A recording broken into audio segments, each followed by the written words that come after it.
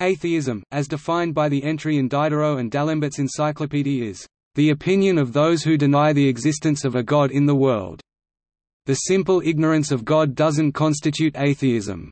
To be charged with the odious title of atheism one must have the notion of God and reject it."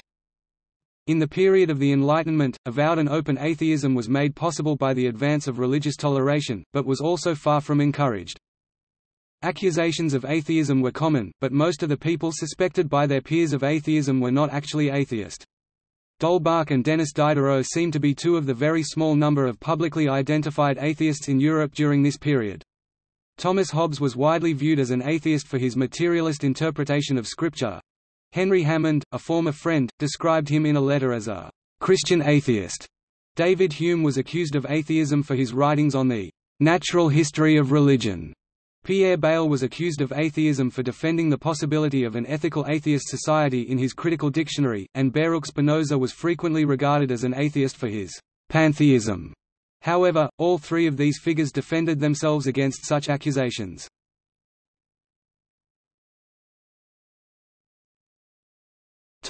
Rise of toleration In the Reformation and Counter-Reformation eras, Europe was a persecuting society, which did not tolerate religious minorities or atheism.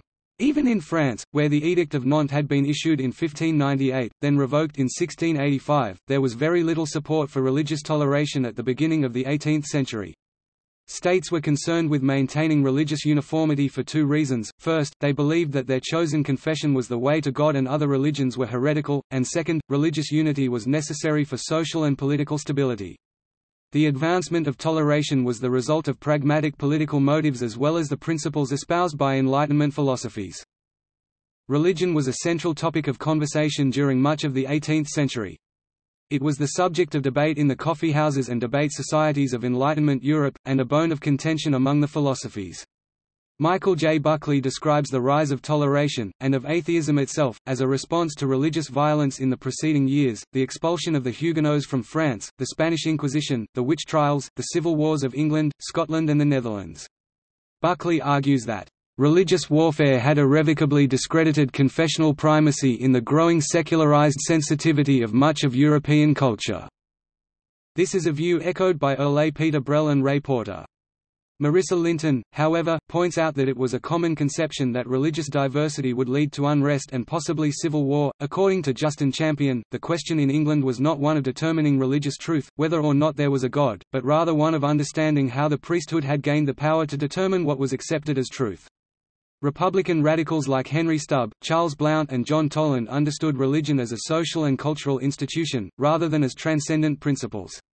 They were primarily motivated by priestly fraud or priestcraft. The second half of Thomas Hobbes' book Leviathan contains an example of this sort of anti-clerical thought. Hobbes, like Toland and other anti-clerical writers of the period, understood religion in terms of history. By viewing religious truth and the Church as separate, they helped open the way for further religious dissent. Because France was an absolutist monarchy in which the king was seen as ruling by divine right, it was generally thought that French people had to share his religious views. The Edict of Nantes, which granted toleration to the Huguenot minority in France, was revoked in 1685. Marisa Linton argues that while the philosophies did contribute to some extent to the rise of French toleration, the activities of French Huguenots also played a part. They began to worship more publicly in the more remote regions of France, and their continued loyalty to the French crown on the eve of and during the Seven Years' War may have helped to ease the monarch's suspicions about their faith. In the mid-18th century, Jansenist intellectuals began campaigning for religious toleration for Calvinists. Linton argues that together, these causes shifted public opinion towards religious toleration. Religious toleration was not accepted by everyone, for instance, Abbé Hauteville condemned the rise of toleration in France because it weakened ecclesiastical authority and encouraged irreligion. However, in 1787 Louis XVI granted an Edict of Toleration acknowledging their civil rights to marry and own property, although they were still denied the official right to worship and could not hold public office or become teachers. Full religious toleration for Protestants would not be granted until the French Revolution. Toleration itself boiled down to two different factions. The acceptable face of toleration was essentially the mainstream view, the freedom of worship and peaceful coexistence of different churches. This view was supported by Kant, Locke, Voltaire and Hume, as the public face of the Enlightenment. The radical Enlightenment, on the other hand, was the view of toleration where the radicals demanded freedom of thought and expression, rather than existing peacefully among each other. This movement was shaped by the lesser-known figures of D'Holbach, Diderot, Condorcet, and, in particular, Spinoza, who provided the heart and soul of this faction. Where reason reigned supreme for the radicals, the moderate thinkers maintained that reason must be limited by faith and tradition.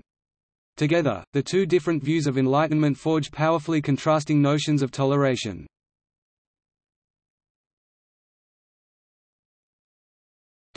Writers on toleration The Dutch Jew Spinoza argued for individual freedom to express personal beliefs, while discouraging large congregations unless they belonged to a somewhat deistic idealized state religion. According to Spinoza, freedom of thought, speech and expression were the core values of toleration. As such, Spinoza opposed censorship. Jonathan Israel summarized his position, that anti-toleration laws were engineered, "...for personal advantage but also at great cost to the state and the public," and that they exacerbated religious conflict rather than diminishing it. Spinoza constructed his theories about toleration based on a freedom to think rather than the right to worship, and was established according to philosophical principles rather than being based on any interpretation of Scripture. Consequently, Spinoza was essentially arguing for everyone, atheists, Catholics and Jews included. Pierre Bayle was a strong advocate of tolerance, the basis of a quarrel with Louis XIV. He even defended the idea of an ethical atheist society in his famous dictionary. Martin Fitzpatrick credits him with making a powerful contribution to the way philosophies would wage war on intolerance and superstition. Although he wanted to diminish the influence of Spinoza, Bayle was treated in a similar fashion by the Huguenots of the United Provinces, who saw him as a dangerous thinker and a potential atheist. John Locke suggested a pragmatic view of toleration, although he advanced a concept of toleration only between certain Christian sects. He vehemently denied the atheists' right to toleration since they did not believe in a god, practiced no recognizable form of worship, and were not seeking to save their souls. He similarly denied toleration to Catholics on the grounds that papal authority made them a danger to the state. In essence, Locke advanced a freedom of worship, not a freedom of thought. The vast majority of 18th-century writers, like Locke, had no interest in granting religious tolerance to ideas that deviated from the core of revealed religion. Most of these writers were strongly opposed to Spinoza's ideal of toleration, which is chiefly about individual freedom and decidedly not the freedom of large ecclesiastical structures to impose themselves on society."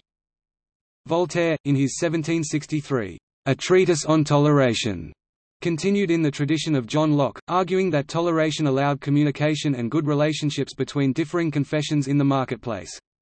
Allowing the Huguenots to return to France would boost the French economy. He would not be the only one to espouse this viewpoint. Opponents tended to conflate the views of those who wrote in favor of toleration under the heading of dangerous anti-orthodoxy and atheism, despite their radically differing viewpoints and confessions.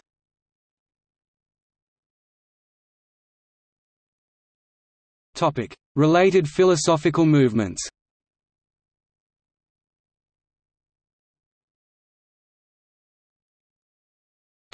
Deism Deism is the philosophical belief in a deity based on reason rather than religious revelation or dogma. It was a popular perception among the philosophies, who adopted deistic attitudes to varying degrees. Deism, in this respect, is very different from atheism, which denies the existence of a deity altogether. Voltaire, for instance, was convinced that the existence of God was a demonstrable fact. The deistic God, however, often bore little resemblance to the God of Christian scripture, which meant that deists were often heavily criticized by the adherents of confessional faiths and could be accused of atheism. Deists often pushed for religious toleration, a move which would have supported the open expression of atheism. This is not because they supported atheism. They did not. But because deist philosophers tended to be in favor of the civil freedom of conscience. As Michael J. Buckley writes, if atheism was unacceptable, superstition and fanaticism were even more so. Deists were not pro-atheist, but their anti-clerical leanings indirectly benefited the evolution of atheism. In historiographical terms, it has been quite common to see a close link between deism and atheism. Buckley critiques Peter Gay's view of the direct tie between deism and atheism, writing, "...the vectors which Gay charts are certainly there, but the distinction may be somewhat too neat, too overdrawn." Louis Dupre describes the deism as the result of a filtering process that had strained off all historical and dogmatic data from Christian theology and retained only that minimum which, by 18th-century standards, reason demands.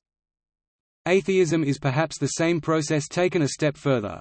Buckley credits the rise of atheism with the gradual submission of theology to philosophy. As thinkers, including church leaders, began to argue religion on philosophical terms, they opened the way for disbelief. They made atheism thinkable.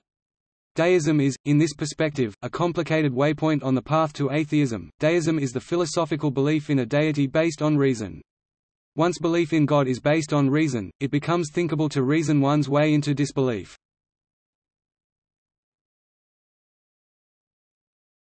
Topic: Freemasonry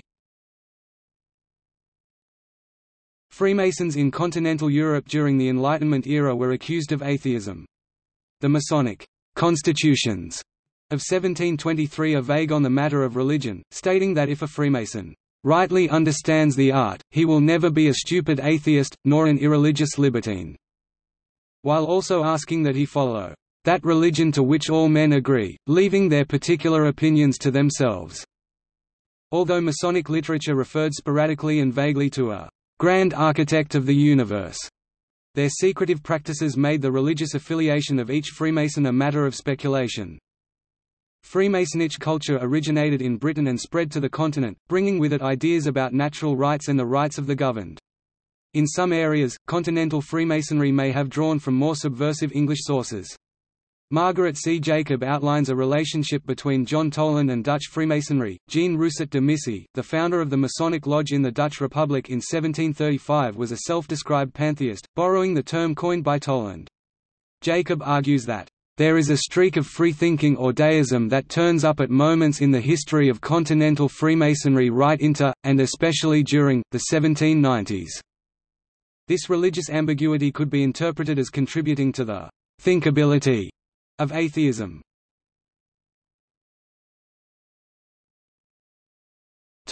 Contemporary perspectives.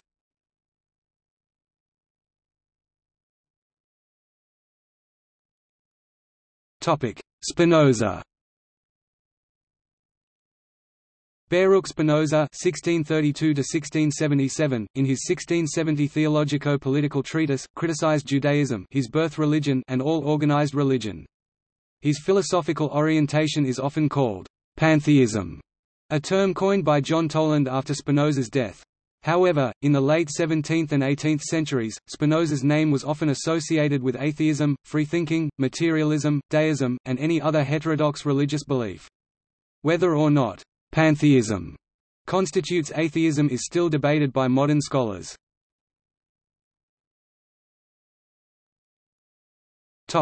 Pierre Bayle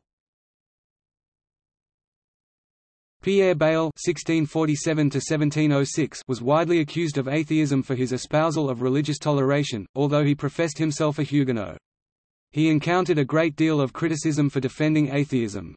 In his Dictionnaire historique et critique he stated that while atheists were exceedingly blind and ignorant of the nature of things, there were many atheists who are no way distinguished for their vices, and that if atheists exist, who, morally speaking, are well disposed, it follows that atheism is not a necessary cause of immorality, but simply an incidental one in regard to those who would have been immoral from disposition or temperament, whether atheists or not. In response to criticism, he included an essay, Clarifications, on Atheists, in the 1702 edition of the dictionary. In it, he continued defending his thesis that there have been atheists and Epicureans whose propriety in moral matters has surpassed that of most idolaters. Arguing that religion is not the sole basis of morality. It is, he wrote, a very likely possibility that some men without religion are more motivated to lead a decent, moral life by their constitution, in conjunction with the love of praise and the fear of disgrace, than are some others by the instincts of conscience.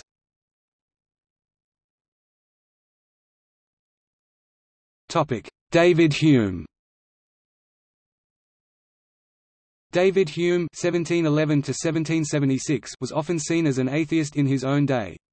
His skeptical attitude toward religion in such works as "Of Superstition and Religion", essays moral and political, on suicide, on the immortality of the soul, Dialogues Concerning Natural Religion, as well as his deathbed conversations with Boswell later published, earned Hume the reputation as a practicing atheist. Hume was even turned down for a teaching position at the University of Edinburgh in the 1740s because of his alleged atheism.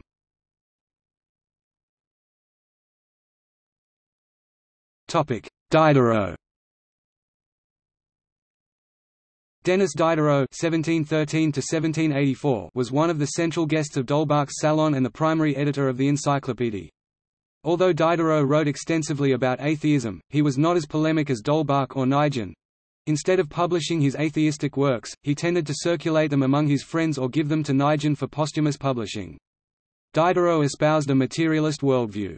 He attempted to solve the problems of how the cosmos could begin without a creator, and theorized about how life could come from inorganic matter.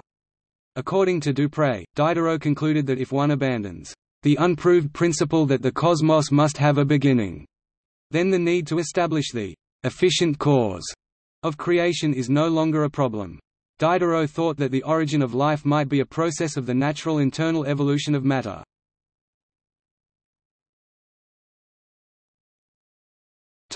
D'Holbach The Baron d'Holbach (1723–1789) was the central figure of the Coterie Holbachique and the salon he hosted in his Paris home. The salon has been interpreted as a meeting place for Parisian atheists, based on an anecdote in which D'Holbach told David Hume, who claimed not to believe anything, that of the 18 guests at his salon, 15 were atheists and three had not yet decided. There is some doubt as to the accuracy of this statement. In any case, D'Holbach himself was a professed atheist. The salon was the site of a great deal of discussion about atheism, and the atheistic and theistic guests seem to have spent a great deal of time good-naturedly arguing for their respective positions. Despite claims that the salon was a hotbed of atheism, there seem to only have been three convinced atheists in regular attendance, D'Holbach, Denis Diderot and Jacques-André Naigeon. D'Holbach's written works often included atheistic themes. Alan Charles Kors cites three in particular. Système de la nature, Le Bon Sens, and La morale universelle, as being particularly concerned with advancing the cause of atheism. Kors summarized some of the basic themes of these three texts as the idea that rigorous materialism was the only coherent viewpoint, and that the only humane and beneficial morality was one deduced from the imperatives for the happiness and survival of mankind. What was relatively unique about D'Holbach was that, as Kors writes, he was an atheist, and he proselytized.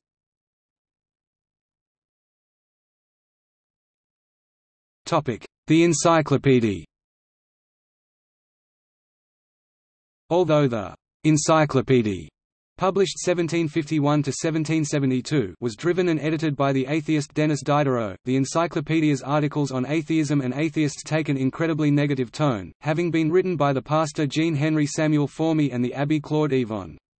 This was probably the most common conception of atheism by the public and by some of the «philosophies». Yvon identifies the main causes of atheism as ignorance and stupidity, and debauchery and the corruption of morals. The article, Athées, is primarily concerned with refuting Bayle's assertions, insisting that atheists cannot have an exact and complete understanding of the morality of human actions. Notes